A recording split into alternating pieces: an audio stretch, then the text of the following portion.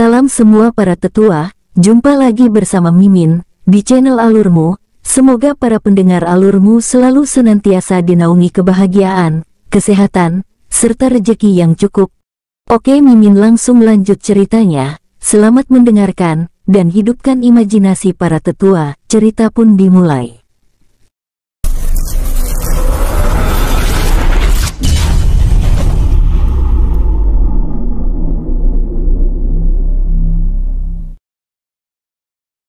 Inilah tingkatan kekuatan setengah dewa. Prajurit Dewa Perunggu 1-5 tingkatan. Begitu juga dengan tingkatan. Prajurit Dewa Emas. Kesatria Dewa Perunggu. Kesatria Dewa Emas. Jenderal Dewa Perunggu. Jenderal Dewa Emas. Jenderal Dewa Berlian. Dan untuk tingkatan. Panglima Dewa Perunggu, itu dibagi 1-3. Begitupun. Panglima Dewa Emas. Panglima Dewa Berlian, untuk setiap bintang, memiliki tingkatan awal, menengah, akhir, puncak. Saat penutup kain terbuka, sebuah cahaya terang menyinari mata semua orang yang mengikuti lelang. Mata Bayan juga sempat tersilaukan oleh cahaya tersebut. Saat cahaya menghilang, semua orang langsung terpana. Wow! Teriakan kagum langsung menggema di lantai satu, termasuk lantai dua dan tiga. Manajer yang menjadi pembawa acara langsung tersenyum. Mohon semua tenang, teriak sang manajer, para hadirin yang mengikuti acara lelang langsung dengan tertib diam. Baiklah, lelang pertama akan dimulai dari material besi hitam ini, mungkin ada banyak yang mengetahui kegunaan material tersebut, tapi tidak ada salahnya saya akan menjelaskan lagi kepada kalian kegunaannya. Kata sang manajer menarik nafas terlebih dulu, lalu melanjut. Material besi hitam ini adalah bahan langka yang berasal dari alam dewa, secara kebetulan orang kami tidak sengaja menemukannya saat ia menuju kawasan kerajaan manusia. Kegunaannya tentu saja membuat senjata kelas 5 ke atas serta bisa digunakan untuk membuat susunan formasi ledakan. Baiklah, harga awal dari material ini dimulai dari satu kristal tingkat tinggi dan kelipatan tidak ditentukan. Setelah mendengar ucapan sang manajer, Suara gaduh kembali terdengar sampai salah satu dari lantai satu berteriak keras. Sepuluh kristal tingkat tinggi. Eh, sungguh miskin. Dua puluh kristal tingkat tinggi, teriak keras Dark Elf sambil mengejek ras iblis murni yang tadi berteriak pertama kali. Bukankah kalian yang terlalu miskin? Seratus kristal tingkat tinggi, teriak salah satu bangsa monster dengan angkuh. Harga terus meningkat, untuk tamu VIP, mereka sama sekali belum ada yang menawar, dan untuk kalangan bangsawan dan para pedagang kaya berada di lantai dua juga belum mulai menawar. Sementara Bayan kini tersenyum menyeringai. Paman Gong, kau selidiki siapa pemilik sebenarnya material besi hitam ini, jika benar bawahan Decang yang memilikinya, kita bisa kaya, tapi jika tidak kita yang akan membelinya. Kata Bayan memberi perintah. Gong Tanru langsung menghilang. Tak menunggu lama, Gong Tanru langsung muncul yang membuat Bai An sedikit terkejut. Karena Gong Tanru belum sampai satu menit pergi kini ia telah kembali lagi. Apa kau sudah mendapatkan informasinya? Tanya Bai An sedikit ragu. Iya pangeran, orang yang menemukan material besi hitam ini salah satu budak decang dan material besi hitam ini diserahkan kepada manajer untuk dilelang melalui persetujuan decang. Jawab Gong Tanru. Bayan seketika tersenyum senang. Baiklah, waktunya menawar, gumam Bayan melihat ke arah lantai dua. Salah satu pedagang kaya kini mulai menawar dengan harga yang cukup mahal. 2000 kristal tingkat tinggi, aku mohon beri aku muka. Karena aku membutuhkan material ini, kata pedagang kaya dengan tubuh gendut dari ras binatang. Hah gendut, kau kira ini rumah bapakmu pakai mohon-mohon, mana harga yang kau tawar sangat rendah. Aku menawar 3000 kristal tingkat tinggi, jika ada yang menawar lebih akan menjadi musuh bebuyutan klanku, teriak patriak klan iblis kelelawar.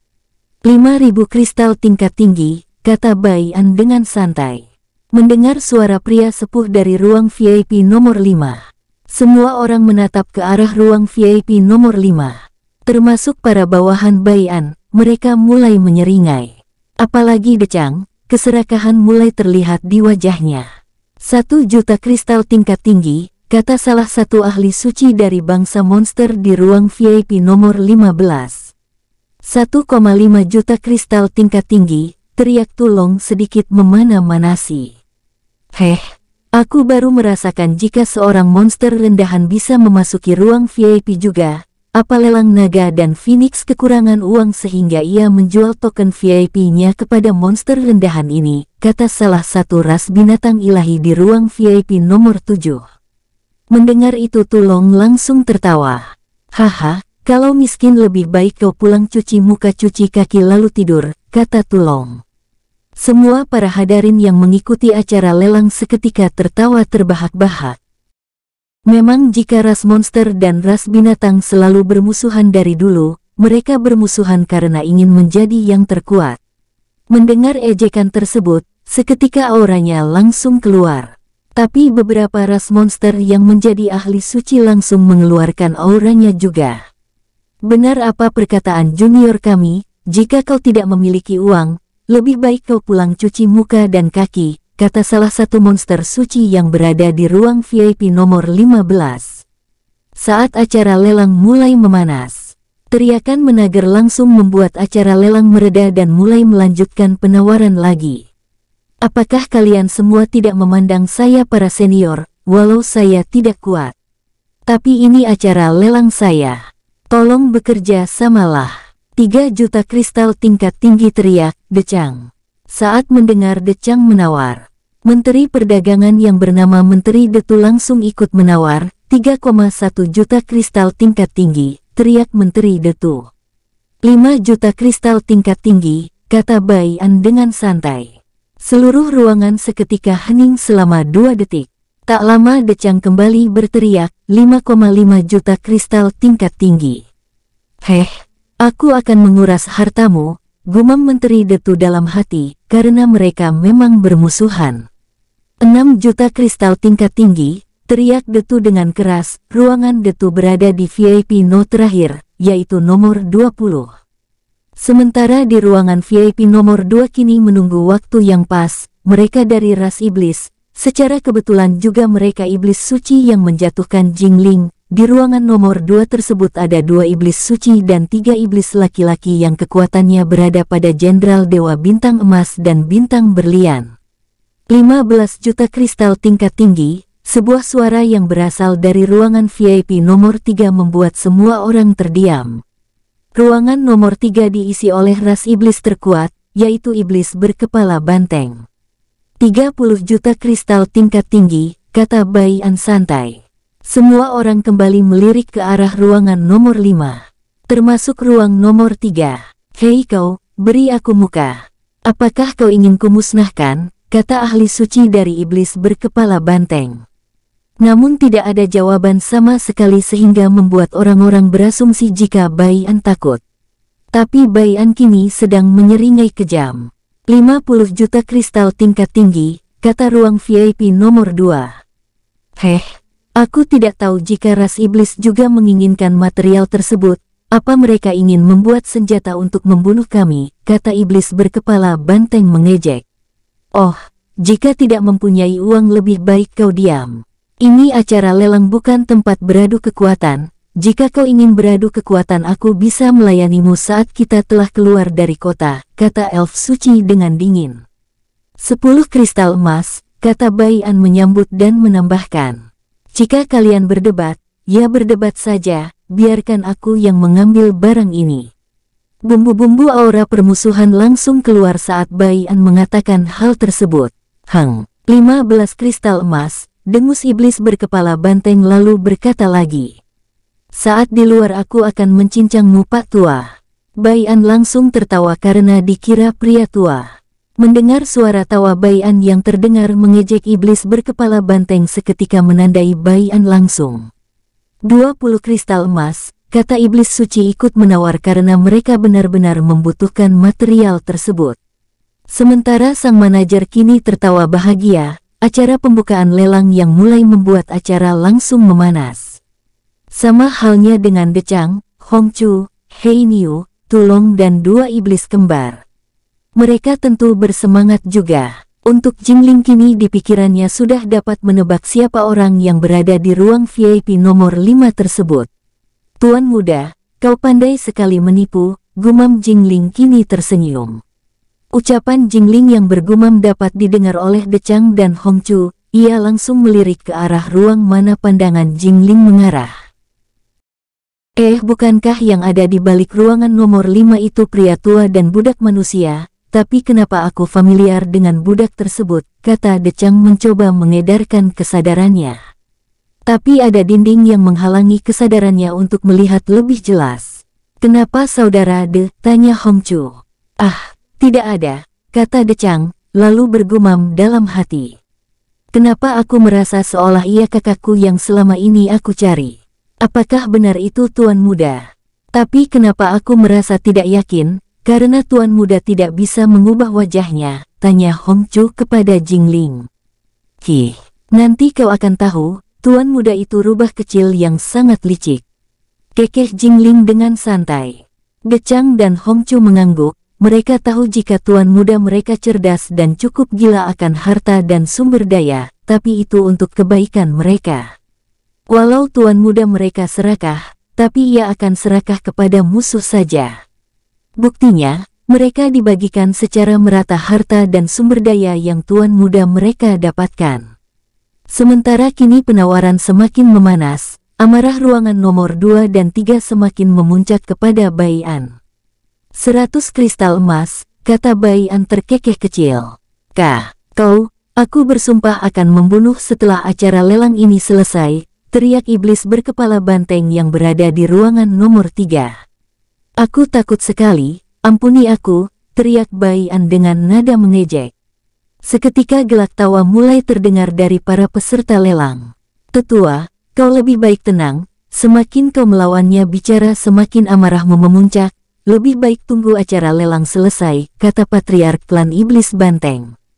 Baiklah Patriark, terima kasih sarannya. Tapi aku ingin aku sendiri yang membubuhnya, Mohon kalian jangan ikut campur, kata tetua iblis berkepala banteng tersebut. Di ruangan nomor tiga ada empat iblis suci dan lima iblis tingkat tinggi yang tingkat kekuatannya cukup tinggi. 200 kristal emas, ini adalah penawaran terakhir dariku, teriak iblis berkepala banteng tersebut. 250 kristal emas, sebuah suara dari ruangan nomor 2 terdengar santai. Tapi jika dilihat secara jelas, ia juga menyimpan dendam kepada Bayan. Mereka sengaja menawar tinggi untuk menjebak Bayan agar menawar lebih tinggi. Haah, apakah kau sudah kehabisan uang? Kata iblis suci yang berada di ruang nomor dua kepada Bayan. Tentu saja masih, 300 kristal emas, kata Bayan santai. 400 kristal emas, teriak ruangan nomor dua lagi. Huh, baiklah jika ras iblis sangat menginginkan material tersebut, Aku akan mengalah, kekeh Bayan. Kau-kau, kurang ajar, teriak suara lembut dari ruangan nomor dua. Saat mendengar suara tersebut, Jingling seketika berdiri dan menggenggam tangannya hingga berdarah. Perasaan benci, marah, semua bercampur aduk di wajah Jingling. Untung Decang dan Hong Chu dengan cepat menenangkan Jingling. Sementara Bayan melihat kelakuan Jingling langsung mengangguk, berarti dia yang mengkhianati dan menjebak Jingling dulu. Apakah ada penawaran yang lebih tinggi lagi? Teriak sang manajer kini dengan semangat, karena ia akan mendapat banyak persenan dari tuannya nanti. Jika tidak ada, aku akan menghitung sampai lima dimulai dari sekarang. Satu, dua, tiga, empat, lima, tok tok. Terdengar suara palu dipukul oleh sang manajer yang berarti material besi hitam kini sudah menjadi milik ruangan nomor 2. Selamat kepada Iblis Suci Tiunji, kami akan mengantar barang milik Anda sekarang, kata sang manajer. Setelah itu barang kedua yang dilelang kali ini juga cukup memanas. Pasalnya Bayan menyuruh Gong Tanru melihat siapa pemilik barang tersebut, jika tidak ada kaitannya dengan Decang, maka Bayan menyuruh Gong Tanru mengunci mulut orang yang ingin menawar dan Bayan menawar dengan harga yang sangat rendah sehingga ia langsung mendapatkannya. Banyak sekali orang heran dengan kenapa mulut mereka tidak bisa mengeluarkan suara. Sayangnya tidak ada ahli suci yang ikut menawar di barang kedua dan seterusnya. Orang-orang juga kini curiga dengan Bayan. Karena saat ia menawar dan ada orang yang ingin menawar lebih, mulut mereka terkunci. Mereka menduga ini ada kaitannya dengan Bayan. Tapi mereka tidak memiliki bukti yang cukup untuk menuduh selain menaruh dendam. Suasana semakin keruh pada barang ke-70 yang dilelang. Sialan, siapa yang membuat suaraku tidak keluar saat menawar, teriak iblis berkapa banteng. Heh, bukankah ini alasanmu saja agar bisa marah? Kekeh Bayan lalu menambahkan. Coba aku yang menawar apakah yang kau ucapkan tadi itu benar atau tidak, seratus kristal tingkat tinggi, kata Bayan dengan santai. Tuh kan, suaraku keluar, kata Bayan dengan suara mengejek. Kurang ajar ini pasti ulahmu, teriak iblis berkepala banteng berusaha menahan amarah. Ulahku, apakah kau memiliki bukti, Tanya Bayan sehingga membuat iblis tersebut diam. Sementara para ahli suci kini bingung juga, tapi mereka tidak ada yang ingin ikut campur, karena mereka yakin akan ada kejadian berdarah setelah ini. 101 kristal tingkat tinggi, teriak Tulong. Saat mendengar teriakan itu, semua orang memandang ke arah iblis berkepala banteng. Sadar akan tatapan tersebut, ia langsung mendengus dan berteriak ingin menawar tapi suaranya sama sekali tidak keluar. Hal itu membuatnya menahan amarah yang semakin tinggi kepada Bayan, karena ia yakin jika ini ulahnya. Setelah itu pemenang barang lelang ke-70 jatuh kepada Tulong. Kini para bawahan Bayan tahu jika orang yang ada di balik ruangan nomor 5 itu adalah tuan muda mereka, walau mereka tidak diberitahu dan segel budak terkunci, tapi dari gelagat dan tingkah orang di ruangan nomor 5 itu meyakini mereka jika itu tuan muda mereka, walau belum yakin 100%. Acara lelang terus berlanjut hingga acara puncaknya, yaitu arak legendaris. Lelang Naga dan Phoenix juga rencananya akan mengadakan lelang dua tahap dan ini masih tahap pertama. Untuk tahap kedua akan diadakan besok, sehingga arak yang akan dilelang kali ini 10 botol pil yang berisi arak. Baiklah, ini yang kalian tunggu-tunggu yaitu arak legendaris, teriak sang manajer kini membuka nampan yang ditutup oleh kain. Saat melihat botol kecil tersebut salah satu ahli suci dari bangsa monster langsung bertanya. Apakah itu benar botol pil ini berisi arak? Siapa tahu kalian membohongi kami? Mendengar itu sang manajer sama sekali tidak tersinggung. Ia lalu membuka salah satu tutup botol tersebut. Saat membuka tutup botolnya, Aroma arak langsung menyebar ke seluruh ruangan selama beberapa detik. Wow, ini benar arak legendaris. Saat mencium aromanya tubuhku seketika segar dan pikiranku langsung tenang ditambah lagi aku merasakan ada energi unik dari arak tersebut. Benar-benar arak legendaris, teriak salah satu pedagang kaya dari ras iblis gelap di lantai dua. Suasana seketika gaduh. Orang-orang yang berada di ruangan VIP juga kini bersemangat ingin mendapatkannya. Sementara ada juga keserakahan muncul dari ahli suci bila tidak mendapatkannya saat penawaran nanti. Sang manajer juga membiarkan semua orang ribut. Sementara Bayan kini sedang sibuk menghitung barang-barang lelang yang ia dapat. Dan rencananya akan dilelang lagi besok dengan harga yang jauh lebih mahal. Ziyu yang di samping An dari tadi diam kini mulai bertanya. Tuan, untuk apa barang-barang yang banyak ini? Aku yakin Tuan tidak mungkin menggunakan semuanya bukan? Tentu saja untuk dijual lagi dengan harga mahal, tapi aku lebih penasaran dengan asal-usulmu, apakah kau tidak ingin bercerita? Mendengar pertanyaan balik dari An, Ziyu langsung diam, ia sama sekali tak ingin membuka identitasnya karena takut akan ada orang-orang itu yang akan memburunya lagi.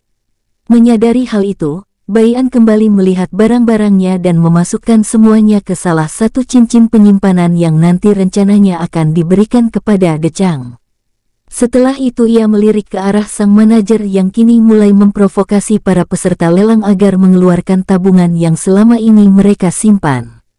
Kalian tenang saja, Lelang sesi pertama ini arak legendaris akan dilelang 10 botol kecil ini dan untuk sisanya yang berjumlah 5 botol akan dilelang besok pagi.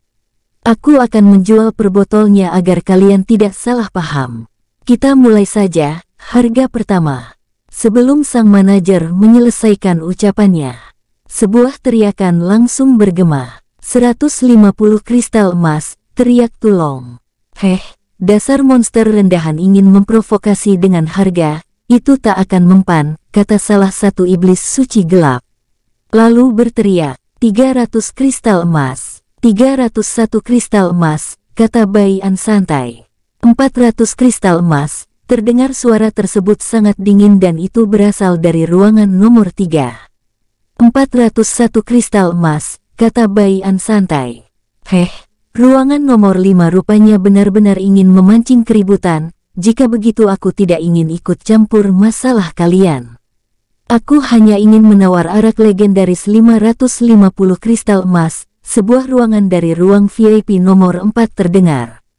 Itu adalah ras manusia. Iblis berkepala banteng langsung mendengus dingin lalu membalas. Lebih baik kau pulang urus kerajaanmu, karena kerajaanmu sebentar lagi akan musnah. Ruang nomor 4 langsung tersenyum dan berkata, Eh, apakah kalian yakin bisa memusnahkannya, malah sebaliknya? Mungkin kalian yang akan mati setelah lelang ini berakhir, kata ras manusia yang sebenarnya raja kerajaan manusia. Mendengar provokasi itu, beberapa ahli suci yang membenci manusia langsung naik darah. Bayan yang ikut mendengar itu langsung merasa tertarik dengan orang yang berada di balik raungan nomor 4. Dia mempunyai bakat yang langka pangeran, bisik Gong Tanru. Bayan mencoba melihat raja kerajaan manusia tersebut dengan teliti, tapi ia tidak dapat melihat kelebihan dari manusia tersebut dan tak sengaja Bayan melihat mata raja tersebut. Eh, Apakah? Kata-kata Bayan langsung terpotong oleh Gong Tanru. Benar, ia bisa melihat satu hari ke masa depan, tapi ia tidak bisa menggunakannya setiap saat. Ia hanya bisa menggunakannya enam bulan sekali. Sehingga dari itu kerajaan manusia mampu bertahan dari kepungan monster, iblis, iblis gelap dan bintang. Kata Gong Tanru sambil melirik ke arah Siyu. Hem. Berarti saat ini ia menggunakan kemampuannya itu, gumam Bayan dalam hati. Lalu mengalihkan pandangan ke arah raungan nomor 2. 950 kristal emas, teriak raungan yang berasal dari ruangan nomor 2. Seribu kristal emas, teriak iblis berkepala banteng. Sangat miskin, 2000 kristal emas, ejek Bayan. Kau, tunggu setelah ini selesai aku akan mencincangmu hidup-hidup, teriak iblis berkepala banteng secara terang-terangan. Heh, kau dari tadi banyak omong kosong, jika kau tidak punya uang lebih baik kau diam, kata Bayan dengan nada dingin.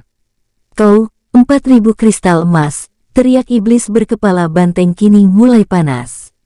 Tapi, setelah ia berteriak menyebut empat ribu kristal emas, keheningan langsung terjadi. Sementara Bayan kini sedang terkekeh kecil karena provokasinya berhasil. Melihat semua orang diam, iblis berkepala banteng itu langsung melirik patriarknya yang kini berwajah dingin. Ada apa? Tanya iblis tersebut kepada salah satu tetua yang di sampingnya. Apa kau tidak sadar dengan tawaranmu yang berlebihan, bisik tetua tersebut. Iblis berkepala banteng itu seketika membeku selama beberapa saat lalu pandangannya beralih ke arah ruangan nomor 5. Aku akan membunuhmu, teriak iblis tersebut yang kini auranya keluar sepenuhnya. Tapi hanya seperkian detik karena patriark iblis berkepala banteng langsung menghentikannya sambil berkata, Mulai sekarang kau lebih baik diam, kau dilarang bicara selama pelelangan berlangsung. Jika kau melanggar aku tidak akan segan-segan lagi menghukummu.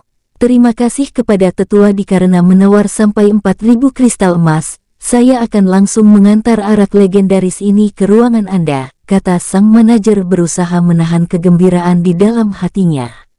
Iblis berkepala banteng yang selalu berselisih dengan bayian bernama Dikie. Setelah itu lelang kembali berlangsung dan kini lelang mulai berjalan lancar tanpa adanya perselisihan. Walau Bayan juga berusaha memprovokasi ras iblis dari tawar-menawar, tapi mereka tetap menanggapi dengan santai walau dengan suara sedikit dingin. Hingga arak ke-10. Baiklah, ini arak terakhir.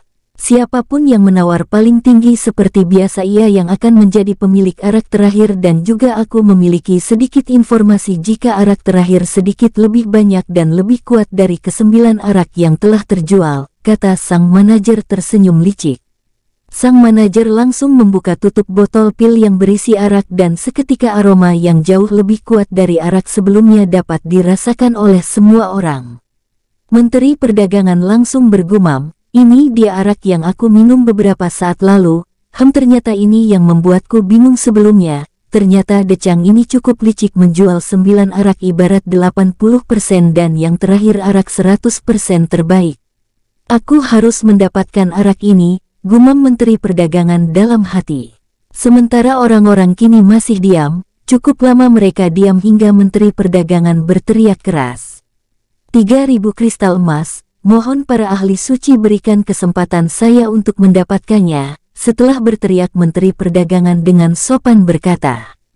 Wah, wah, keributan seketika terjadi lagi, namun ini yang paling menggemparkan bahkan teriak para peserta lelang terdengar sampai ke seluruh kota netral.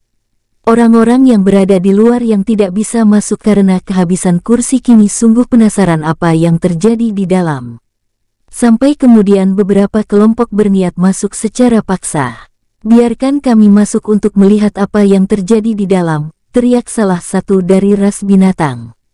Benar, kami akan membayar lebih untuk biaya masuk, teriak salah satu iblis gelap. Tapi para penjaga lelang tetap tidak membiarkan mereka masuk. Sampai beberapa saat iblis yang bayan pukul tadi datang bersama beberapa orang yang cukup kuat, tapi ada satu ahli suci yang bersembunyi di balik bayang. Bayan yang merasakan itu langsung tersenyum senang. Pancingan utama Anda ternyata berhasil pangeran, bisik Gong Tanro. Bayan tentu mengangguk santai. Aku tahu jika pemuda yang kupukul dan iblis yang berkepala banteng yang aku provokasi pasti akan melapor ke perkumpulan gelap karena mereka satu kelompok. Tapi tak kusangka ada banyak pengikut Kaisar Dewa Kegelapan yang cukup kuat muncul. Bahkan ada juga yang menunggu di luar kota, kata Bayan menyeringai kejam, seolah menatap musuhnya kini seperti sebuah harta. Apakah kita akan langsung membunuh mereka pangeran? Tanya Gong Tanro, tapi Bayan langsung menggelengkan kepalanya. Tunggu saat kita di luar kota, jangan membuat keributan di sini, Kata Bayan kini melirik Ziyu dan memikirkan akan menyuruhnya pulang atau ia akan menyuruh bawahannya mengantar Ziyu. Sementara di acara lelang kini sedang gaduh, mereka mulai memperebutkan arak legendaris yang terakhir. 4.300 kristal emas, teriak ketua klan iblis banteng. Heh aku tidak akan mengalah walau kita sama-sama iblis, 4.350 kristal emas, teriak patriak klan iblis kelelawar. Jangan lupakan kami, 4.400 kristal emas, teriak klan monster yang berkelapa rubah. Ras iblis gelap juga tidak akan mengalah, kami tadi mengalah kepada kalian untuk mendapatkan arak legendaris sebelumnya tapi kali ini jangan harap mendapatkannya. 4.500 kristal emas, teriak patriark klan Dark Elf.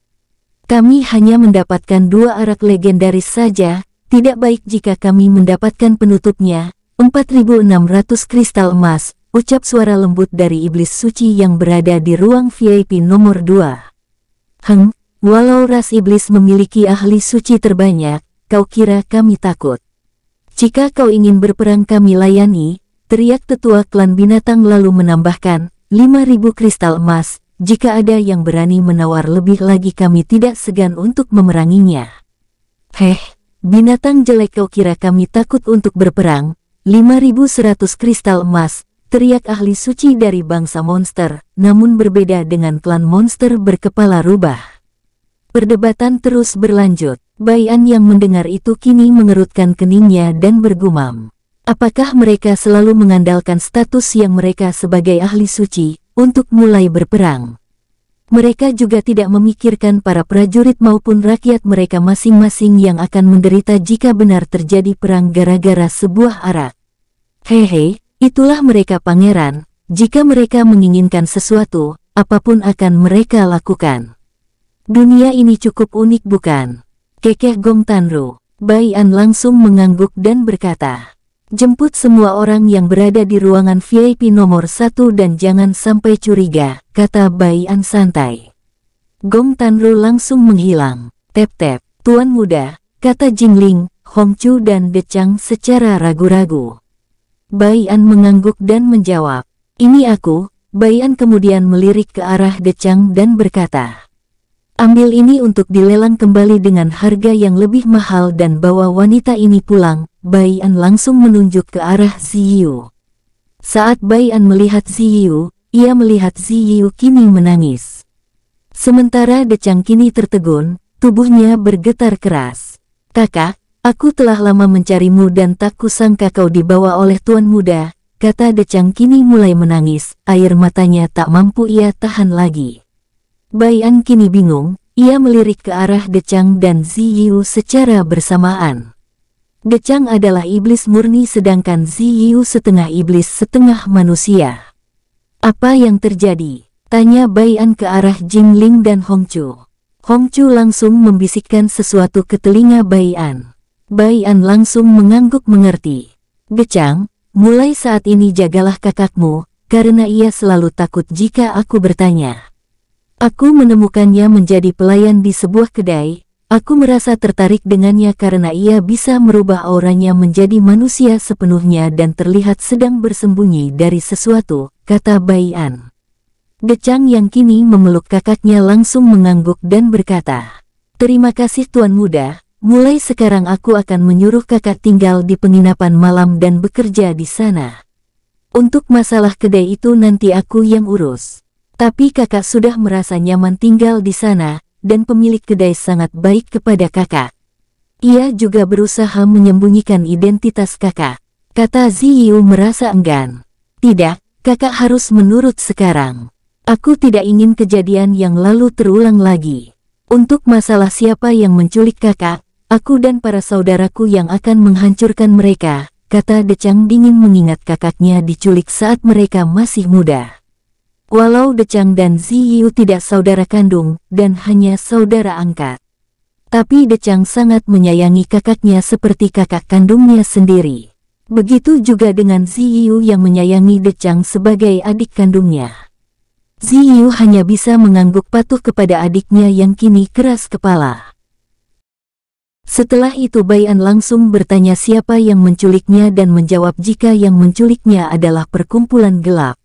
Mendengar itu Decang semakin marah. Tapi Bayan langsung menenangkannya. Kalian pergilah semua ke penginapan malam terlebih dahulu, untuk Jingling biarkan ia di sini dulu karena aku mempunyai beberapa urusan. Jangan lupa bawa mereka juga, kata Bayan melirik ke arah Tulong dan yang lainnya. Dengan patuh mereka langsung pergi sambil memberitahu Tulong dan yang lainnya. Karena Bayan kini memiliki rencana lain sehingga ia meminta semua kembali. Tapi Tulong langsung berlari ke arah ruangan Bayan. Walau sudah dihentikan oleh para saudaranya. Tapi Tulong yang kini sepenuhnya sadar tidak terhentikan. Bra, Tuan Muda, aku sangat mengkhawatirkanmu, kata Tulong menangis. Eh, kau cengeng sekali, ejek Bayan. Tapi Tulong menghiraukan ucapan Bayan. Ia kini duduk sambil menyodorkan tangannya. Apa? Tanya Bayan sengaja kesal. Walau ia tahu apa maksud Tulong. Heh, tentu saja jatahku selama tiga hari. Kau tahu aku yang paling menderita, sampai-sampai mereka semua merantaiku, tentu saja aku meminta imbalan, dengus Tulong. Bayan langsung melambaikan tangannya memberikan satu tong sedang berisi arak dan berkata, Kembalilah dulu ke penginapan dan bersiap-siap karena semua harta kita telah menunggu kita untuk mengambilnya. Mendengar itu Tulong langsung terkekeh. Hehe, aku tidak sabar ingin melihat harta tersebut. Tulong langsung berjalan keluar dengan santai. Kini hanya Jingling dan Gong Tanru yang tersisa. Saudari Jing, aku akan membuka segel kultivasimu, tapi kau harus bekerja sama denganku. Jangan karena sebuah dendam kau langsung pergi menyerang mereka. Aku tidak ingin kau bertindak sembarangan karena aku tak ingin kau terluka, kata Bayan menatap Jingling dengan serius. Jingling langsung diam selama beberapa saat dan berkata, Baiklah aku akan mengikuti rencanamu. Tapi aku sendiri yang membunuhnya dengan tanganku sendiri. Bai An langsung mengangguk dan melirik Gong Tanru. Gong Tanru langsung menyegel tempat tersebut. Jing Ling langsung tertegun. Kau, senior Gong, tunjuk Jing Ling terkejut. Walau Gong Tanru mengenakan jubah penutup kepala, tentu ia langsung tahu siapa pria di depannya ini saat menggunakan formasi, karena alasan Jingling menjadi budak dan pergi ke gurun monster adalah sebenarnya mencari Gong Tanru. Kau mengetahuiku, hem padahal sudah ratusan ribu tahun aku tidak keluar, tapi tak disangka ada yang mengetahui nama asliku, kata Gong Tanru dengan santai. Tentu saja aku tahu, karena kakekku dulu sering bercerita tentangmu dan kehebatanmu bahkan aku tahu kau telah melebihi tingkat kekuatan dunia ini. Kakek juga berasumsi kau sekarang sudah mencapai dewa abadi, kata Jing Ling terkejut. Gong Tanru mengangguk dan berkata, Aku hanya mempunyai satu murid dari ras iblis dan sekarang ia telah mati, kalau tidak salah depannya juga Jing. Jing Tian kalau aku tidak salah. Benar dia adalah kakekku, kata Jing Ling bersemangat kini berjalan ke arah Bai An dan mengabaikan Bai An yang kini tersenyum pahit. Paman Gong, Kau buka saja segelnya, sementara aku akan, sebelum Bayan menyelesaikan ucapannya, sebuah ledakan terjadi. Bom, sialan, jika aku tidak mendapatkan arak yang terakhir, aku akan membunuh siapa yang mendapatkannya, teriak ketua iblis banteng dan tetua bintang secara bersamaan. Mendengar itu semua ahli suci langsung mendengus kesal. Sementara Bayan kini menyeringai dan berkata, Heh, Kau pikir karena dirimu seorang ahli suci terus bisa berbuat seenaknya, apa kau tidak menyadari banyak ahli suci yang tersinggung oleh ucapanmu itu? Sungguh bodoh membuat diri sendiri dalam kematian jika para ahli suci bergabung menyerangmu. Maka, Bayan tersenyum mengejek ke arah ketua iblis banteng dan tetua bintang. Itu benar, kau mengira karena kau seorang ahli suci yang cukup kuat bisa seenaknya saja menindas dengan nama klanmu, jika kau ingin menyerang ayo klan monster akan melayanimu, dengus patriak klan monster berkepala rubah, ia adalah kakeknya Yao Jing. Itu benar, jika kami bekerja sama kau kira akan mampu melawan kami, walau kita sama-sama iblis, teriak ketua iblis kelelawar dengan marah sambil menatap tajam ke arah ketua iblis banteng. Kalian akan menyesal telah meremehkan aku, dan kau, tunjuk iblis banteng ke arah Bayan.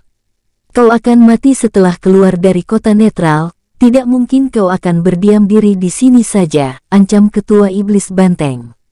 Bayan langsung tersenyum tipis lalu menjawab, kau tenanglah, aku tahu siapa saja yang memburuku, tidak perlu menungguku, aku yang akan menunggu kalian nanti di arah barat luar kota, termasuk kau yang berada di ruangan VIP nomor 2. Mendengar ras iblis yang ditunjuk, iblis suci yang dikenal Jingling langsung mendengus dingin. Walau ia tidak pernah mengatakan sesuatu tapi mereka selalu merencanakan sesuatu dan rencana mereka telah diketahui oleh Bayan.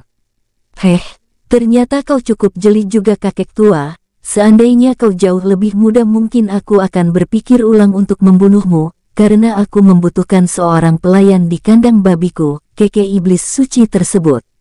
Bayan langsung tertawa kecil. Kau tenang saja, kebetulan aku mempunyai beberapa budak yang haus akan belayan ras iblis, jika aku membawamu mungkin mereka akan senang melayanimu, kekeh Bayan. Kah, kau kurang ajar, berani sekali kau melecehkan ratu kami, teriak iblis suci pria dengan geram. Sudah, Biarkan saja ia puas bicara dan jangan terpancing oleh provokasinya karena semakin kau melayani ia di bacara semakin kau akan dibaut marah, kata Ratu Iblis baru dengan dingin. Sementara ketua iblis banteng dan tetua iblis banteng yang sempat beradu mulut dengan Bayan kini menatap Bayan dengan penuh kebencian. Di panggung kini sang manajer hanya diam saja, ia tak peduli apa yang mereka perdebatkan, yang ia pedulikan adalah keuntungan dan barang yang ia lelang laku. Untuk masalah kerusakan ia tinggal memperbaikinya karena tahunnya Decang mempunyai banyak cara memperbaiki rumah yang rusak tanpa biaya. Ehem-ehem, tuan-tuan sekalian, apakah kalian sudah selesai berdebat? Tanya snack manager tersenyum sebaik mungkin. Semua orang dan orang yang berada di ruangan VIP langsung menatap ke arah sang manajer yang terlihat santai. Sehingga salah satu dari ahli suci bebas berkata, Apakah kalian tidak malu melihat manajer lelang naga dan Phoenix begitu santai melihat tindakan kekanak-kanakan kalian? Ia bahkan sampai tersenyum melihat ruangannya yang dirusak oleh kalian. Itu benar, apa gunanya kalian para ahli suci yang merusak barang milik pelelangan dan tidak mengganti rugi, Mau ditaruh di mana martabat kalian yang seorang ketua dan tetua, ejek Bayan. Heng, kesabaranku ada batasnya. Jika kau bicara sekali lagi, aku bersumpah akan membunuhmu di tempat ini, kata Patriark klan Iblis Banteng dan tetua binatang secara bersamaan sambil menatap ganas ke arah Bayan. Ah, aku takut sekali, kekeh Bayan. Kau, Teriak ketua klan iblis banteng langsung berdiri dan ingin melesat ke arah Bayan. Tapi sebuah suara langsung menghentikannya. Apakah kalian semua tidak memandangku sebagai penguasa kota? Dari tadi kalian ribut bahkan mengeluarkan aura kalian. Apa kalian tidak mengingat perjanjian yang telah lama dibuat? Tanya penguasa kota dengan suara cukup besar. Suaranya menggema di ruangan tersebut. Orang-orang yang tingkat kekuatannya berada di bawah Dewa Jenderal pasti akan mengira penguasa kota berada di sini. Tapi sebenarnya ia tidak berada di sini, melainkan ia berada di istananya. Jika kalian ingin membuat keributan silahkan di luar kota ini, kata penguasa kota kemudian suaranya lenyap. Hehe, penguasa kota ini cukup cerdas juga, ia tak ingin seorang ahli suci mati di kotanya. Makanya ia langsung menghentikan ketua klan iblis banteng, gumam Bayan terkekeh kecil. Hem, dia salah satu pengikut Nyonya Ling, dia sebenarnya belum mengetahui keberadaan pangeran, ia mengatakan itu tadi karena merasakan keberadaanku di sini dan aku sengaja melepas keberadaanku agar rencana pangeran tidak gagal, kata Gong Tanru kini mendekat ke arah Bayan. Bayan langsung melirik ke arah Gong Tanru kemudian beralih ke arah Jingling yang kini kekuatannya kembali, tapi Jingling masih bermeditasi untuk memulihkan energinya. Bayan kini mengangguk saat merasakan tingkat kekuatan Jingling yang berada di Panglima Dewa Berlian Bintang 4 Puncak, yang sebentar lagi akan menembus ke Bintang 5 awal. Jika seseorang mencapai tingkat Panglima Dewa Emas maka ia akan diberi gelar ahli suci oleh orang-orang yang ada di dunia ini. Itulah yang Bayan tahu dari cerita Jingling beberapa saat lalu. Setelah itu Bayan mengalihkan pandangannya ke arah beberapa ahli suci yang sangat membenci dirinya. Untung Gong Tanru telah membuat formasi di ruangan ini dan semua ahli suci hanya bisa merasakan Bayan saja, sedangkan Jingling dan Gong Tanru tidak bisa mereka rasakan.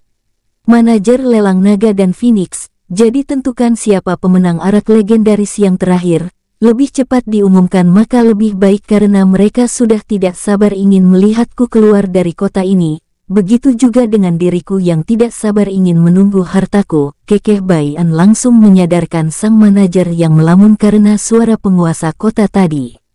Sementara para ahli suci yang tidak bermusuhan dengan Bayan hanya bisa terkekeh mendengar ejekan Bayan dan yang membenci Bayan langsung mendengus dingin. Baiklah, Harga tertinggi tadi adalah patriark klan monster dari klan rubah yaitu 6500 kristal emas. Apakah ada yang ingin menawar lebih tinggi lagi? Tanya sang manajer dengan senyum lebar. Melihat semua orang diam, sang manajer langsung berkata, Baiklah jika tidak ada yang ingin menawar lagi, maka saya umumkan pemenang lelang terakhir malam ini adalah ketua klan monster dari klan rubah, dan untuk barangnya akan langsung diantarkan kepada ketua sekarang juga. Mendengar itu Bayan langsung melirik Jingling dan berkata, Ayo kita keluar saudari Jing, sudah saatnya kita menjemput harta kita. Jingling langsung membuka matanya, saat ia membuka matanya wajahnya langsung tersenyum melihat ke arah Bayan. Waktu tiba juga, sudah cukup lama aku menunggu saat-saat ini tuan muda, kata Jingling langsung berdiri. Bayan mengangguk langsung keluar dari sana menggunakan jubah bertudung. Tak lupa Jingling juga menggunakan jubah bertudung agar tidak dikenali. Saat Bayan membuka pintu, ketua dari klan rubah sudah berdiri sambil tersenyum seperti telah lama menunggu Bayan. Ada apa ketua? Tanya Bayan pura-pura tidak tahu tujuannya. Ehem, jika Anda mau kita bisa pergi bersama, tidak-tidak. Aku akan langsung jujur saja, karena aku dan para tetua mungkin tidak mampu menghadapi serangan gabungan, dari beberapa ahli suci yang menginginkan arak legendaris yang terakhir, jadi aku mengajak Anda untuk bergabung untuk melawan mereka. Mungkin dengan bergabungnya Anda, beberapa ahli suci lain ingin bergabung dan membantu kita, kata ketua klan rubah. Bayan tidak langsung menjawab, ia pura-pura berpikir keras akan ajakan tersebut. Menyadari hal tersebut, Patriark klan rubah langsung mengerti dan berkata, Anda bisa tenang, saya pasti akan membayar mahal bantuan Anda ini, karena saya sadar jika mereka pasti mengincar klan saya lebih dulu sebelum bantuan tiba. Tapi ketua, kenapa harus repot-repot meminta bantuan mereka berdua, terlebih lagi Anda membayarnya lebih baik kita langsung pergi saja, Paling-paling mereka berdua akan langsung mati lebih dulu saat keluar dari kota, kata salah satu monster yang memiliki kekuatan tingkat Jenderal Emas Bintang Dua Puncak. Benar mereka itu lemah, akan sia-sia kita meminta bantuan mereka berdua, kata salah satu monster yang jauh lebih muda ikut merendahkan sambil mendengus dengan sombong. Bayan yang mendengar itu ingin melambaikan tangannya. Tapi Jingling langsung bergerak lebih dulu mengayunkan tangannya. Crash, crash, ah. Teriakan kedua monster yang Jingling potong tangannya sangat menyedihkan. Kau sekali merendahkan tuan mudaku, maka kepalamu akan melayang, kata Jingling dengan dingin. Ketua klan rubah maupun para ahli suci lainnya kini menganga tidak percaya, pasalnya mereka tidak mampu bergerak lebih dulu membantu jenderal mereka. Kini jenderal mereka telah kehilangan kedua tangan mereka masing-masing. Ya walaupun mereka bisa menumbuhkan tangan yang hilang, tapi itu cukup memalukan bagi mereka yang merasa dipermalukan. Kau, tunjuk salah satu monster ahli suci. Namun dengan cepat Patriak Rubah bergerak lalu memukul kepala tetuanya sambil berkata dengan dingin. Diam, mulai sekarang kalian lebih baik diam dan dilarang bicara tanpa seizinku. Setelah itu ketua rubah langsung melirik orang yang di belakang Bayan dengan hati-hati, ia cukup familiar dengan aura orang yang berdiri di belakang Bayan. Tuan maafkan sebelumnya dengan tindakan tetua dan jenderal saya, saya pasti akan memberikan Anda kompensasi atas penghinaan yang mereka lakukan kepada Anda. Tapi, kata jenderal dan tetua tersebut secara bersamaan. Diam, kata ketua rubah dengan dingin. Bayan yang melihat itu tersenyum di balik tudungnya. Sungguh seekor rubah, ia sangat pandai bersandiwara, gumam Bayan. Dengan cepat Bayan melambaikan tangannya. Itu tidak apa-apa, saya bisa saja menolong Patriark. Tapi Patriark harus menyerahkan setengah harta yang Anda punya dan harus mengikuti instruksi saya. Bagaimana? Kekeh Bayan. Patriark rubah langsung menggertakkan giginya karena rencananya gagal oleh ulah tetua dan jenderalnya. Awalnya Patriark Rubah berencana untuk membunuh Bayan dan orang yang di belakang Bayan jika mereka telah menang bertarung atau akan mengorbankan Bayan saat bertarung nanti dengan menyuruhnya lebih dulu maju melawan para ahli suci yang menghadang jalan mereka. Tapi rencananya dapat tercium. Hem, orang tua ini ternyata lebih licik dan pintar dari yang aku duga, aku kini tidak boleh menyinggungnya. Tapi jika ada kesempatan membunuhnya maka aku akan langsung membunuhnya, dan yang paling dikhawatirkan adalah bawahannya ini, sepertinya aku tidak dapat mengalahkannya seorang diri, gumam Patriark Rubah dalam hati. Baiklah, ini adalah setengah dari harta saya, Anda dapat menghitungnya lebih dulu, kata Patriark Rubah kini menyodorkan cincin penyimpanannya. Bayan langsung mengambilnya tanpa sungkan dan bergumam dalam hati. Seandainya kau bukan kakeknya wanita bodoh itu, aku sudah membunuhmu rubah tua. Terima kasih atas kebaikan hati Anda ketua. Kekeh Bayan dan langsung memasukkan cincin peremberian Patriark Rubah. Setelah itu ia kembali berkata, Baiklah rencananya cukup gampang, anda bisa lebih dulu berangkat dan saya akan mengikuti beberapa menit setelahnya karena ada beberapa tikus yang harus saya pancing keluar juga, kata Bayan dengan santai. Tapi bagi ketua rubah dan tetua rubah, mereka langsung menggertakkan giginya dengan keras. Bahkan gertakan gigi mereka dapat didengar oleh Bayan. Tentu mereka paham maksud Bayan, mereka pergi lebih dulu artinya mereka harus siap-siap menyerahkan setengah pasukan mereka lebih dulu sebagai tumbal sebelum kedatangan Bayan. Bahkan mereka curiga Bayan mungkin tidak akan datang menolong mereka hingga mereka mati. Kau kurang ajar, tidak tahu terima kasih. Tunjuk tetua rubah dengan amarah yang meledak-ledak. Diam, teriak ketua rubah, ia kemudian menatap Bayan dan berkata sambil berusaha menahan kemarahannya juga. Saya yakin Anda adalah orang yang menepati janji, saya akan menunggu Anda di luar bagian barat menuju kota monster. Setelah itu mereka langsung pergi tanpa menunggu jawaban Bayan. Ketua rubah yakin jika ia tetap berdiam diri, maka amarahnya yang sudah ia tahan akan langsung meledak-ledak. Sementara Bayan kini terkekeh. Tuan muda, kau sungguh licik. Aku tidak menduga akan hal ini, kata Jingling sambil tersenyum kecil. Hehehe, demi harta kita harus mencoba bertahan dari segala cobaan, kekeh Bayan kemudian berjalan keluar dengan santai seolah-olah tidak terjadi apa-apa. Saat berjalan keluar Bayan menghubungi Tulong melalui telepati jika ia harus menyerang perkumpulan gelap terlebih dahulu dan pancing keluar kota. Karena Bayan kini merasakan mereka telah kembali. Itu terjadi mungkin para anggota perkumpulan gelap dan beberapa ahli suci mereka mendengar penguasa kota bicara tadi. Mereka kembali karena takut kelompok mereka akan ketahuan oleh penguasa kota. Maka dari itu Bayan menyuruh Tulong memancing mereka keluar. Saat Bayan menapakkan kakinya di luar pintu pelelangan naga dan Phoenix, ia langsung merasakan beberapa mata sedang mengintainya. Heh, mereka sudah tidak sabar menyerahkan harta mereka sehingga mengirim mata-mata. Mereka sungguh baik hati, kekeh Bayan menyeringai kejam.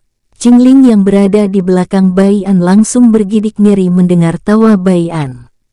Ayo kita keluar, ajak Bayan kepada Jingling. Jingling langsung mengangguk tapi pandangan matanya beralih ke arah mata-mata dari ras iblis. Jingling langsung menjadi dingin. Tep-tep. Cukup lama mereka berjalan santai yang diikuti oleh cukup banyak mata-mata dari berbagai ras yang ingin membunuh Bayan. Saat sudah mencapai tengah kota, Bayan langsung tersenyum saat mendengar suara ledakan. Mereka sungguh kejam, padahal aku hanya menugaskan memancing target utamanya keluar, tapi si botak itu tak segan-segan menghancurkan markas mereka, gumam Bayan. Setelah bergumam Bayan melirik Jingling, setelah mengangguk bersama. Dengan cepat mereka menghilang dari tempat mereka berdiri. Bahkan mata-mata yang selalu mengintai Bayan langsung terkejut. Padahal tingkat kultivasi mereka cukup tinggi, tapi mereka tidak bisa mengikuti pergerakan Bayan. Ayo kejar, jangan sampai kehilangan jejak, teriak iblis berkepala banteng dan beberapa mata-mata dari ras lain secara bersamaan. Mereka langsung bergerak cepat dari atap ke atap. Sementara Bayan dan Jingling kini sudah sampai di depan pintu gerbang kota netral, bersamaan dengan sampainya Tulong dan Decang. Tuan muda, mereka ada di belakang dan sangat banyak. Aku tidak menduga mereka sebanyak itu, kata Tulong dengan semangat. Bayan menyeringai. Ayo kita sambut dan tunggu harta kita datang, kata Bayan langsung melambaikan tangannya. Bayan, Jingling, Tulong dan Decang langsung menghilang bertepatan dengan datangnya para pengikut Kaisar Dewa Kegelapan. Tep-tep, mereka cepat sekali menghilang, cepat keluar kejar mereka. Mereka pasti tidak jauh dari luar kota, kata salah satu ahli suci yang pernah Bayan lihat. Semua pengikut Kaisar Dewa Kegelapan, salah satunya perkumpulan gelap langsung keluar tanpa halangan dari kota netral, karena mereka memiliki beberapa anggota yang mereka taruh sebagai penjaga di sana. Sementara Bayan dan para bawahannya kini sedang bergerak cepat ke arah barat dengan santai. Tulong dan Decang, kalian berdua jangan terlalu gegabah saat bertarung. Karena pasti ada beberapa ahli suci yang tiba-tiba bergerak menyerang kalian saat aku dan Jingling sedang bertarung. Ingat kalian harus waspada, Kata Bayan memperingati Tulong dan Decang, karena Bayan tahu jika Tulong cukup barbar dan Decang memiliki dendam dengan perkumpulan gelap karena menculik adiknya. Tidak jauh dari jarak Bayan kini klan rubah, beberapa ahli suci seperti Ketua Iblis Kelelawar dan Raja Manusia sedang bertarung dengan klan Iblis Benteng, ras binatang dan beberapa ahli suci lainnya yang menginginkan arak legendaris.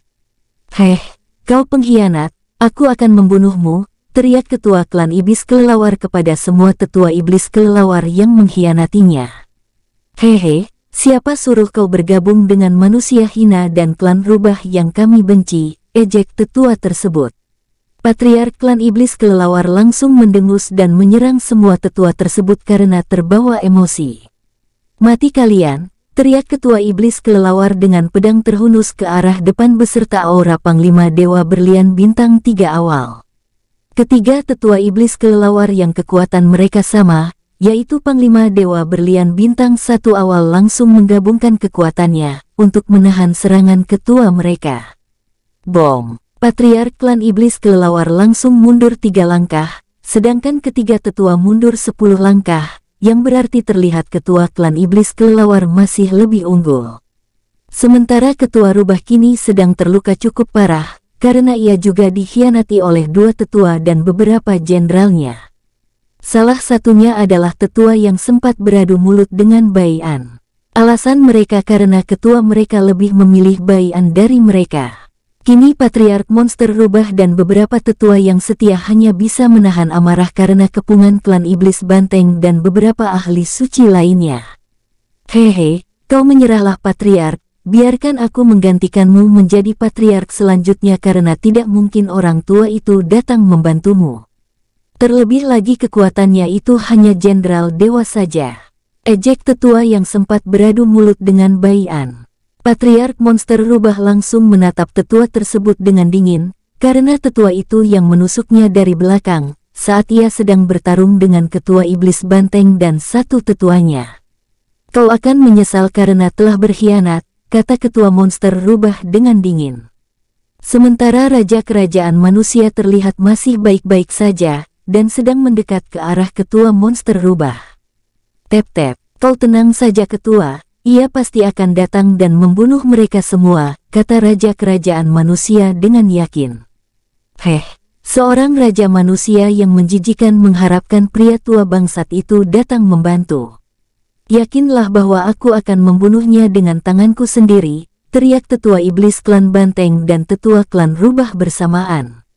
Tepat setelah ucapan mereka selesai. Selas. Kepala tetua klan rubah langsung melayang dengan darah muncrat seperti air terjun. Sementara tetua iblis klan banteng kedua tangannya terjatuh tanpa ia ketahui. Ah, semua orang langsung membeku dan sadar setelah teriakan tetua klan iblis banteng. Heh, kalian berdua ingin membunuhku. Menyelamatkan nyawa kalian saja tidak bisa. Kata Bayan menyeringai dan tiba-tiba muncul di tengah-tengah mereka. An kini melayang seorang diri. Sementara Jingling tidak jauh darinya kini sedang bertarung dengan ras iblis dan dilindungi oleh Gong Tanro. Anda akhirnya datang, teriak ketua monster rubah dan raja kerajaan manusia dengan semangat. Kah, kau, aku akan membunuhmu, teriak beberapa tetua iblis banteng langsung maju menyerang Bayan. Bayan mendengus dingin. Ia langsung menghilang dan muncul di salah satu tetua iblis klan banteng sambil mengayunkan pedangnya. Crash! Bayan kembali menghilang dan muncul lagi di depan tetua iblis klan banteng. Crash! Beleduk! Kepala mereka langsung terjatuh dan menggelinding bersamaan. Semua ahli suci langsung terpana. Ada yang bergidik nyeri, ada yang tubuhnya bergetar keras. Tingkat Raja Dewa, teriak Patriark klan Iblis Banteng. Itu adalah tingkatan dewa setengah abadi yang sulit untuk ditembus oleh mereka semua kecuali dunia setengah dewa terkuat. Karena dunia mereka terkuat di urutan puluhan, lebih tepatnya urutan ke-60 dari 100 urutan terkuat dunia setengah dewa. Hanya 10 dunia setengah dewa terkuat saja yang bisa menembus kekuatan Raja Dewa ini, satu tahapan saja sangat sulit untuk ditembus, apalagi satu bintang, karena satu bintang memiliki tahapan awal, menengah, akhir dan puncak. Mendengar teriakan itu, semua ahli suci menelan ludah mereka sendiri. Sementara yang berada di pihak Bai An kini tertawa bahagia. Ayo serang mereka, Kita mempunyai seorang senior yang telah lama bersembunyi kini mau membantu kita, teriak Raja Kerajaan Manusia dengan semangat. Serang, teriakan para prajurit dan beberapa ahli suci dari berbagai ras langsung dengan semangat menyerang musuh mereka. Sementara ketua klan iblis banteng langsung mengeluarkan sebuah token untuk berteleportasi. Bayan yang melihat itu langsung bergerak cepat. Selas. Walaupun Bayan terlambat membunuhnya, tapi tangan kanan ketua klan iblis banteng kini terpotong oleh pedang Bayan yang ia sengaja aliri sedikit energi semestanya agar tubuh yang terpotong tidak bisa tersambung kembali. Bayan juga yakin jika ketua klan iblis banteng akan mengamuk karena tangannya tidak bisa tumbuh lagi. Setelah itu Bayan langsung bergerak membunuh tetua iblis banteng lainnya yang memiliki julukan iblis suci, tak lupa juga Bayan mengambil cincin penyimpanan tetua yang ia bunuh. Bayan juga membunuh tetua iblis banteng yang sempat beradu mulut dengannya. Awalnya Bayan berniat menyiksanya lebih dulu, tapi ia mengurungkan niatnya. Setelah itu, Bayan langsung bergerak membantu Tulong dan Decang yang kini dikepung oleh perkumpulan gelap. Karena tujuan awal Bayan adalah sebenarnya para pengikut Kaisar Kegelapan. Bayan muncul di depan monster suci yang pernah Bayan lihat. Dengan cepat Bayan mengayunkan tangan kanannya yang dialiri energi semestanya. Tebasan Ashura, gumam Bayan dengan dingin. Menyadari bahaya, monster tersebut langsung ikut mengayunkan pedangnya. Tebasan kegelapan tanpa batas, teriak monster suci tersebut. Treng. Saat pedang mereka bertemu, monster suci tersebut langsung melotot dengan tubuh bergidik nyeri. Krak-krak, crash. Bayan pedang Bayan langsung menghancurkan pedang musuhnya dan membelah dada monster tersebut. Tapi Bayan tidak berhenti begitu saja, ia sekali lagi mengayunkan pedangnya karena ia tahu para pengikut Kaisar Dewa Kegelapan sangat kuat dan sulit mati. Tebasan Ashura tingkat kedua, gumam Bayan. Aura di pedang Bayan berubah seketika.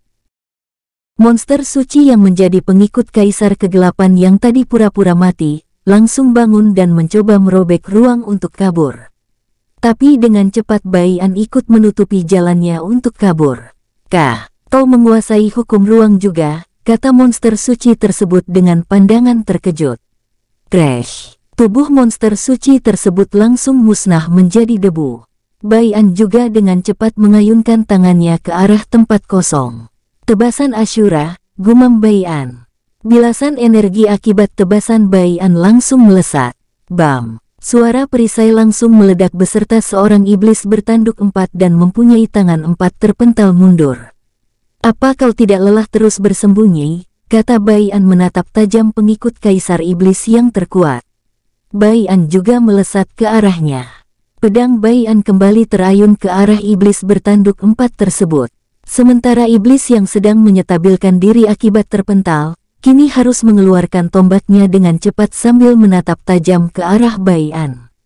Kau mempunyai sesuatu yang kami cari, ucap iblis bertanduk empat dengan suara serak. Bayan terkekeh kecil. Kau tidak akan dapat mengirim informasi bahwa aku mempunyai energi semesta ke ketua dan orang di belakangmu. Aku tahu bahwa ketuamu juga dikendalikan oleh pengikut kaisar kegelapan yang sebenarnya, kata Bayan dengan cepat mengayunkan pedangnya. Tebasan Ashura tingkat kedua, gumam Bayan. Iblis tersebut langsung mengayunkan tombaknya. Tombak kematian tanpa batas, teriak iblis bertanduk empat. Brak, saat pedang dan tombak bertemu. Bayan langsung mengerutkan keningnya karena tombak iblis di depannya adalah tombak tingkat tiga yang sangat jarang muncul. Tapi Bayan tidak memikirkannya, ia langsung mengalirkan lebih banyak energi semestanya ke pedang klan Bai yang ia gunakan. Tebasan membelah langit, gumam Bayan kini menggunakan teknik berpedang yang diajarkan oleh ibunya Ling Mei. Melihat itu dengan cepat iblis bertanduk empat menggunakan teknik terkuatnya. Teknik Kaisar Kegelapan, penghancur dunia, teriak iblis bertanduk empat. Dua energi dari pedang dan tombak langsung membuat badai dan membuat para ahli suci mau tidak mau menjauh sejauh mungkin. Pedang Bayan langsung melesat lebih cepat dari yang iblis tersebut duga. Selas, bom, kah, kau akan menyesal telah memusuhi kami, teriak iblis tersebut sebelum meledak. Heh, sebaliknya kau yang akan menyesal karena telah mengganggu ketentraman keluargaku, aku bahkan akan mencari sampai ke akar-akarnya siapa yang telah mengganggu keluargaku di masa lalu. Aku yakin para dewa itu tidak mungkin bergerak jika tidak ada yang mendukung dari belakang atau yang menggerakkannya. Suatu hari nanti aku akan membongkar dan memusnahkan semuanya, kata Bayan dengan dingin. Pandangan matanya kini sangat tajam. Setelah itu Bayan langsung menghilang dan membunuh target utamanya yaitu para tikus-tikus yang mengaku pengikut Kaisar Dewa Kegelapan. Bayan kini terlihat seperti Dewa Kematian, ia membantai semua pengikut Kaisar Dewa Kegelapan tanpa pandang bulu. Orang-orang dari berbagai ras kini semua tertegun, tapi mereka juga bersemangat karena kini tahu bahwa ada beberapa dari ras mereka yang berkhianat dan menjadi pengikut yang mereka benci, yaitu Kaisar Dewa Kegelapan. Sementara Tulong dan Decang kini sudah tidak bertarung lagi, tapi mereka semua menjarah dan mengumpulkan harta yang tuan muda mereka bunuh. Bahkan ada beberapa iblis maupun monster yang ikut membantu mereka mengumpulkan harta rampasan dan memberikannya kepada Tulong dan Decang. Mereka melakukan itu berharap bisa menjadi pengikut Bayan. Dari mana mereka tahu jika Tulong dan Decang adalah pengikut Bayan? Itu karena Tulong berteriak tidak jelas dengan kata. Itu adalah tuan muda, tentu saja beberapa dari mereka percaya dan tidak mungkin berbohong. Karena mereka yakin jika Bayan akan membunuh orang yang menjual namanya. Tapi beberapa pihak juga tentunya tidak percaya. Bayan kini berdiri di tengah lautan mayat pengikut Kaisar Kegelapan. Matanya tertuju ke arah Jingling yang sedang bertarung dengan dua iblis suci yang tersisa. Tapi Jingling kini hampir menuntaskan pertarungannya. Kemudian pandangannya beralih ke para ahli suci yang kini telah selesai bertarung, itu karena ahli suci yang ingin merebut arak legendaris langsung menyerah, dan para pengkhianat dari klan mereka masing-masing juga ikut menyerah, dan ada yang langsung dibunuh seperti ketua monster rubah, yang membunuh para pengkhianatnya. Sementara ketua iblis kelelawar kini melumpuhkan para tetua yang berkhianat dan menyiksanya. Pangeran, seperti yang Anda bilang, aku sudah menyegel tempat ini agar mereka tidak bisa mengirim informasi melalui telepati atau batu komunikasi. Gong Tanru tiba-tiba muncul di samping Bai-an. Tapi tidak ada yang memperhatikan kehadiran Gong Tanru. Bai-an langsung mengangguk. Rencana utamanya kini berhasil, dan rencana keduanya kini belum sepenuhnya berhasil. Bayan tiba-tiba tersenyum dengan mata cerah. Untung tidak ada bawahan Bayan yang melihat senyum itu, karena Bayan masih memakai tudung kepala. Jika mereka melihat senyumnya, maka mereka akan langsung mengutuk Bayan yang gila harta.